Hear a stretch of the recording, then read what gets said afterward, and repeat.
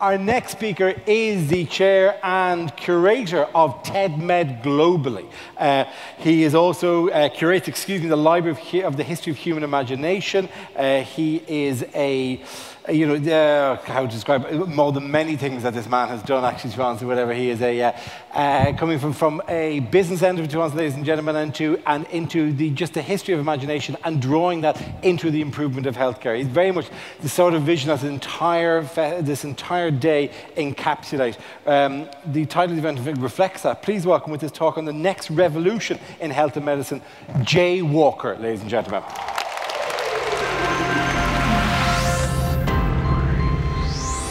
Thank you, Dara. oh, I always like a very low key build up. That works so much better.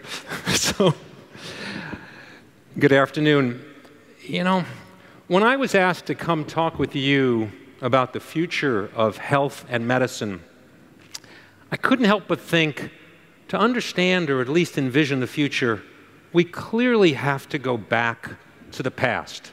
So, how far back should we go to understand the future, and I decided to go back to the beginning. So, life began on planet Earth about 3.6 billion years ago. And most people would say, well, that's certainly the most important event in the history of our planet, at least as far as we're concerned the creation of life. But I would submit it's not the most important event. The most important event is what happened at the exact same time that life shows up. And that is a mechanism by which life gets steadily more complicated. We start with single cell organisms, and instead of them staying single cell organisms 3.6 billion years ago, a process that we call evolution begins to kick in and make life steadily more complicated. And after about 600 million years, photosynthesis shows up because natural selection with random variation means that endless changes suddenly combine randomly to tap the energy of the sun. And that happened about 3 billion years ago. And then it takes another 2 billion years before the first multicellular organism shows up, two billion years before one cell life becomes multicell life. And then it takes another hundreds of millions of years before the first animals show up, a couple hundred million years ago. And then 40 million, 30 million years ago, the first mammals show up. And all of this makes you wonder who's in control? Of this process. How does life get steadily more complicated? Shouldn't it get less complicated? Shouldn't it break down? If I take a tea set, all beautifully organized, and I throw it in the air, what happens? It becomes a mess. Why is life moving in the opposite direction? Now, this is really going to matter because what happens about two and a half million years ago is one of the millions of animals shows up in the Homo genus, our ancestors. And we're just one of millions of different plants and animals on the earth. But it turns out that because of our brains, we begin to evolve and get more and more and more sophisticated than every other animal. And about two and a half million years ago, it begins to change for, for a radical difference. Until 200,000 years ago, here's what happens we show up modern humans. And that's 200,000 years ago. But here's the big change 10,000 years ago, we cross a line. And we start to create more sophisticated tools, and we start to create ways to communicate using language, and we start to have imagination. Imagination shows up. Our ability to conceptualize the future, build tools, and manipulate our environment. And what happens 10,000 years ago is man, among all of the animals, takes control of the biological world externally. We invent agriculture and we invent animal husbandry. And suddenly, we're on a path to control the world. We take control of our food supply And Civilization 1.0 emerges from that moment 10,000 years ago.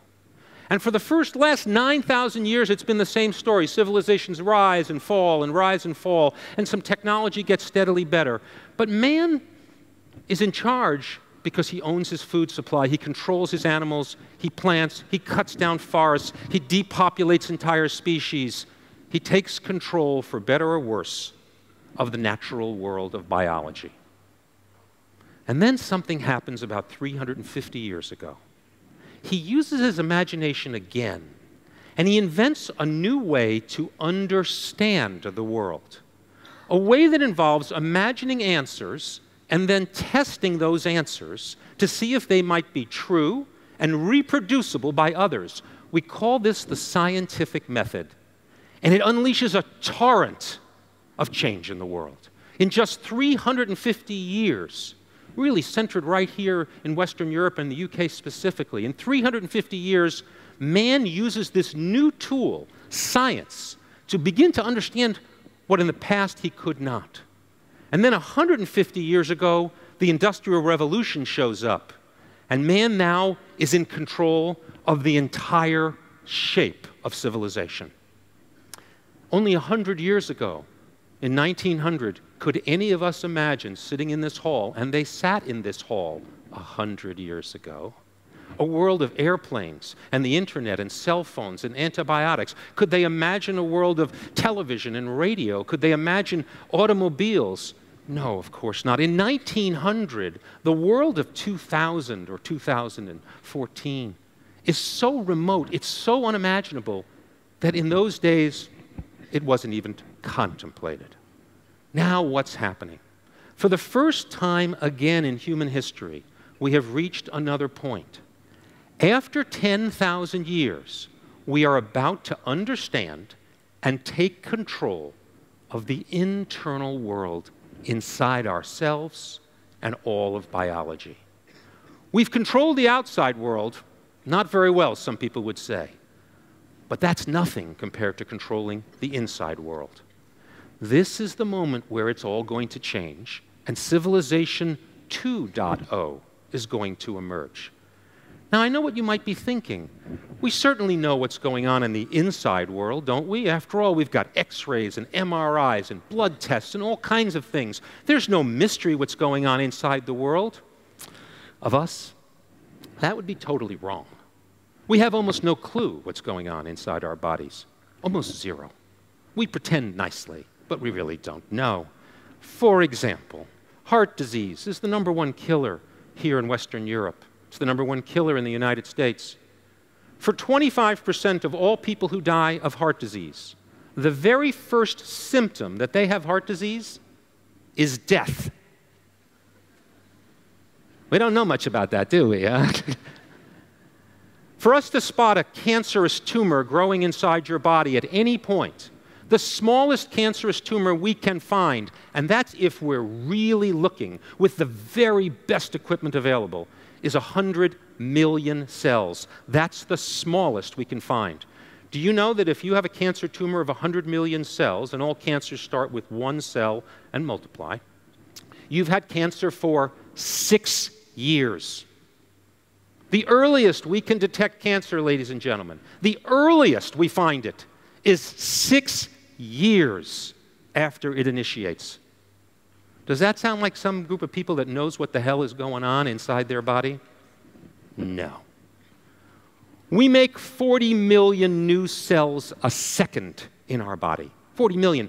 That's 8,000 Albert Halls every second. Each one of them having 3 billion nucleotides and dozens, if not hundreds, of copying errors. We are constantly living in a world of not one organism, but each one of us are a superorganism. The closest would be an Amazon rainforest. There's about 10 trillion of your cells that are human cells in your body. About 10 trillion. Did you know that about 90 trillion cells in your body are bacteria? That's nine to one, ladies and gentlemen. For every one cell of you, there's nine of them walking around. And by the way, these are not bad bacteria all of the energy from your food that gets to you is all converted by bacteria in your gut. If bacteria were considered an organ, they'd be about as heavy as the human brain. And yet, it's only been about five or six years where we have begun to sequence the genomes of those bacteria. Before then, we had no idea of the microbiome. We had no idea what was going on. And remember all that human genome things that everybody's liking to talk about? Where we finally have the map? Think again. The human genome is an instruction plan, that's true. But we've learned that epigenetics, or methylation, basically changes what genes get expressed in your body by the thousands of genes. And you only have about 30,000 genes, right? A lot less than a pea, for example. And yet your genes are expressed and upregulated and downregulated. We're just beginning, beginning to understand why certain genes get expressed, certain genes get suppressed, certain genes never show up. We know almost nothing. The example I like to use is imagine watching the movie The Wizard of Oz, which is two and a half hours long, and somebody snipped a single frame out of the movie and said, What's this movie? What's happening here? And you were looking at just one frame of the movie. That's health and medicine today. Now, here's what's going to change, and here's why the future is so exciting. Because we're about to understand and take control of the inside world. Well, first of all, what do I mean by understand? I mean we're going to create unbelievably cheap and powerful sensors that we will swallow, wear, breathe on, that will be able to tell us from moment to moment what is going on in the 100 trillion cells, what is going on in all the protein formation, how viruses are interacting with the bacteria and with the human cells. All of that is in the dark right now. But these sensors, they're going to be everywhere all the time. And by the way, they're all coming through the phone because the phone is the network device that allows all of this data to come on to a large scale global network where we can process it and use sophisticated software, sometimes called big data, but think of it as complex software, to begin to interpret what the hell is going on and then provide a feedback loop right back to your phone. See, the future of health and medicine is we're about to figure out what the hell is going on inside. And not just inside of us, but inside of animals and inside of plants. You see that agriculture thing? Well, 80% of the world's crops today are used to raise food to feed animals for meat. That's going away, ladies and gentlemen. We're not going to use 80% of the arable land in the world to, to raise food for animals. We're simply going to produce the meat or print it or whatever you want to call it. And it's going to taste just fine. Right? And not only that, that's 1,800 gallons of fresh water saved for every gallon of meat when you no longer have to grow animals with the agriculture. We're going to change everything we know about ourselves and our world. And that's just the opening act. Because I told you we were going to take control of it. And that's where it gets amazing. You see, 3.6 billion years ago, evolution became the only method by which biology became more and more complicated. But right now, evolution is about to become one of only two methods. For the first time in the history of the planet, we have taken control of the information layer of life. We can literally create DNA and genes, and they can express proteins. We can insert them. We can, as become gods, we can change the genetic code of animals, plants, and all of life. Now, at first, this sounds incredibly frightening, and it is. But the genie is out of the bottle because billions of people are coming onto this network. This is not like nuclear power where a few priests will control it. This is literally going to become planet wide. And if we may not do it in the West, they'll do it in the East or they'll do it in the South. You see, this is the ultimate change. This is civilization 2.0 we are going to compete with natural selection. It's called synthetic biology. Sounds not too scary. But synthetic biology is the name scientists use to describe the manipulation of the data of life. Now, make no mistake, just as we could not predict civilization 1.0 from animal husbandry and growing crops, we have no idea where civilization 2.0 is going to go when we can start to grab control of the codes of the software of life. We've seen it in the last 10 years, where in 10 years we've gone from zero phones to 6 billion phones on the planet, 1 trillion apps downloaded, 1 trillion apps in just 10 years.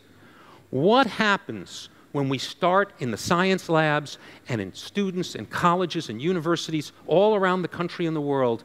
We begin to control. You know, you can mail order the components now, and they will make you your genes and send them to you by Federal Express. And you can put them in a mouse or a plant and you can see what they'll do. And at first, the reaction is, is this going to be like yesterday, only more? It's not. It's going to be like 1900 to 2000. It's going to be a world both frightening and exciting. But at the core, it's going to be about imagination. If we imagine a world where we use our software writing capacity to improve the world, to reduce the stress on the planet, to change how we live, to cure disease, to prevent, to predict, to participate. All of those things are going to change the way we live, the way our children live, and I guarantee you, the way our grandchildren live. So I'm going to bring out on the stage now a man who is at the very front lines of synthetic biology. He's right here from Imperial College. He's the co director of the, U the UK Innovation and Knowledge Center for Synthetic Biology. If there's somebody who knows, it's Professor Paul Freemont. And he's going to join me. We're going to bring some chairs out now, would be nice. And he's going to join me on the stage, and we're going to spend a few minutes, and you're going to hear it from him, one of the world's leading scientists on the front lines of what it means to actually take control of the code for life. Professor Freemont, please join us.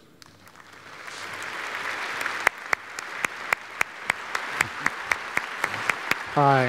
Hello, Paul. Hi, Joe. So, Paul, I'm, I'm not an MD and I'm not a PhD, so I'm sure there's a few skeptics in this room who are saying, come on, okay? That seems a little bit much. Um, Am I overstating it or not? Nope.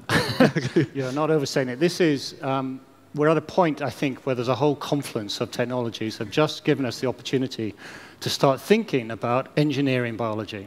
So this is about bringing engineering practice into molecular biology, into manipulating genes.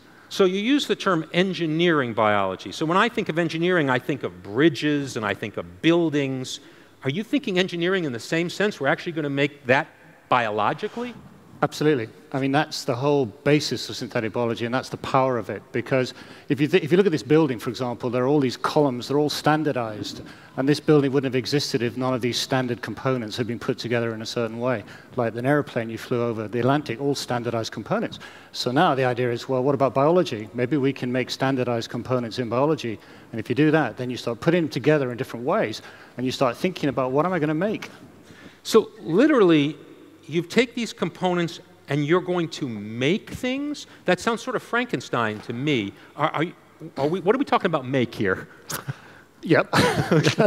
Good point. Um, okay, so healthcare, right? So the idea is you start with an idea, imagination. You said it in, beautifully in your speech. Um, you know, what, what are the problems? What, what do we want to tackle? You know, we want to make a new therapy. We want to do something. We want to change, make a biosensor. You talked about biosensor. Let's make a sensor. So you start with that thought process. Then you go and you look at biological systems and you think, well, what parts of biology can I bring to bear on this application that I'm interested in? Then you go on your computer and you start putting together pieces of DNA. You start constructing new genetic circuits that would give you the predicted functionality that you want. So it sounds like if I were in software, I might write a program to make a spreadsheet, or I might make a program to make a word processor, yeah. or I might write an app to do some phenomenal thing to notify people, or whatever. Absolutely. You're telling me we're going to actually start writing the equivalent code in biology so we can begin to repair things that go wrong? Repair things that go wrong, create new, um, new, new information flow. So generate biology that, that sort of detects uh, its environment and then, and then constructs information around that to, in order to do something like a decision-making process. So we're going to engineer cells that will be in an environment that there, there might be a tumor cell you want to tackle. We'll, we'll engineer a cell that will be able to detect just the tumor cell. And when it detects it, there'll be another signal which will say to the, the, the cell you've engineered, please release this cytotoxic cargo at this point. And so there'll be sort of information flows, decision making, and engineering going into constructing that. So, how broad is this going to be? Is this going to be a few real geniuses over at Imperial College in one or two labs? Or is this going to be something like real software programmers where kids around the world can do it? I'd like to think it would be just Imperial College, actually, but that ain't going to work. Uh, um, no, this is this is uh, this is worldwide. This is uh, there are school kids, high school kids in America. There are school kids that we go around and talk to are very excited by this. Universities, there are citizen scientists, amateur scientists who are interested in biology, who want to get involved in synthetic biology. There are professional labs. There are companies. There is a there's just a huge ecosystem developing around this field. So it sounds to me, I'm sure there's always some people who are naturally worried. It sounds to me like the power of a nuclear energy, you know, incredible power once I start to manipulate biology, but without any control. It sounds like there's no way to control where this goes. I mean, is that a fair statement? It's not really a fair statement. One of the things up front in any synthetic biology, you know, project, design project, is thinking about safety immediately before you've even thought about anything else. So there are you know, mechanisms to allow your engineered DNA to not be transferred to other cells, to, to the cell itself that you're engineering to self-destruct, that you can reprogram that cell to do something at a particular point. All of the safety mechanisms are really important for the field. We're very, very aware of that. So let's talk about how it unfolds. We saw between 1900 and 2000 engineering sort of unfold across the world. Yeah. Do you see it's going to take 100 years for synthetic biology to unfold? No way. It's happening ridiculously fast. Um, I think the, the reality of it is that we've been doing this now for about 10 or 12 years. A full 10 or 12, wow. I mean, in the sense of, well, it's not a long time, really. but it's, it's, it seems a long time in the field because it's rapidly uh, gone from writing little apps, little genetic circuits that will do fun things like making bacteria take photo, you know, photograph with bacteria, all that sort of fun app stuff into really quite serious big research projects are now synthesizing new chromosomes, for example, the yeast project, making you know, synthetic chromosomes, redesigning chromosomes uh, to, that, would, that would do, perform functionalities that we want. So it's just accelerating rapidly. So, so one area of synthetic biology obviously is health and wellness. Yeah. And we clearly want to deal with disease, slow down aging, repair things that go wrong. Yeah. And so those are all right on the radar. But there is more than that in synthetic biology. I know a lot of energy people are pretty excited about synthetic biology. Yeah, I mean, that's one of the really amazing things about synthetic biology. The whole of the application space is extremely broad, from medical healthcare to bioenergy, biomining, believe it or not, bioremediation, all of these activities, biomanufacturing, making stuff uh, which we've been using biology to do for years, but now we're going to do it just routinely. We're going to change, you know, how we make stuff, you know, how we make all the stuff that we need, you know. Well, it's ironic that photosynthesis has done such a great job for everything on the plant kingdom, yeah. and we have to eat those plants in order to get the energy. Do you see a time where we're actually going to be able to manipulate those plants to directly give us energy? I'd like to think so. I mean, the thing about this field, and you just put, your, you put the number on it, which is that this is very imaginative field. This is unlocking people's creative thinking about what applications they would like to do. With biological knowledge having reached a level of sophistication now, people are, you know, people can think about these things. They can actually, you know, not just think, oh, this is crazy. They can actually think, well, actually, maybe I could do this because there's some really neat bit of biology that I could sort of harness into my design. So a lot of this is about design, systematic design. That's the sort of engineering process. Well, one of the things we see in the world today so much is that because of the web and because of cell phones and tablets, an innovation in China and an innovation in Australia and an innovation in Canada suddenly get, you know, somebody learns about it three days after it happens. Yeah. And so it seems that the speed is accelerating. Is this community actually sharing with each other or are they holding back? I I'd like to think it's sharing at this particular point in time. Uh, the community is very broad. Uh, there's a lot of very young uh, colleagues involved in the community. Uh, we have this student competition every year run out of MIT. It's got 260 universities from all over the world, every part of the planet. 15 undergraduates all come to MIT and present projects that they've done over the summer. That's been going for now since 2005 all of those people are out there, you know, doing PhDs, postdocs, you know, around the world, and there's a sort of community build uh, around that foundation, uh, and there are other foundations that are being built across the world. So this notion of taking control of the code of life Well, that's never happened in 3.6 billion years. Right. All right. So we look out 25, 50 years. Are you encouraged? Are you excited? Are you worried? All of the above? All of the above. no, I'm not, I'm not worried. I am very excited uh, in the sense that, you know, biology is complicated. Uh, and the beauty of synthetic biology, by bringing engineering practice in, it tries to reduce this complexity. It tries to remove complexity to allow us to build things that are robust and predictable, like the airplane you came across the Atlantic. That's predictable. It is going to get there, touch wood. Uh, you know, so obviously things can go wrong. Uh, you know, that's part of the risk of all what we do. But it seems to me that you know we're at this point where this this is you know there are some big problems out there, and this technology could really address some of those problems, and we just got to take it. Well, Professor Freemont, thank you for sharing and, jo and joining us today. It really was, okay, as great. you promised. Thank you. Thanks so much. Thank you.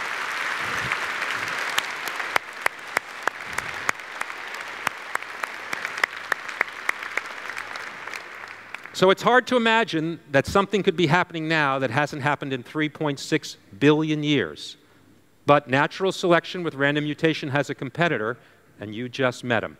So, ladies and gentlemen, and all the young people around the world, and all the scientists around the world that are working in that, and all the rest of us that are waiting for good results for ourselves and our loved one and our children, we thank those scientists for the work they're doing, and we can't wait to see what Civilization 2.0 really looks like.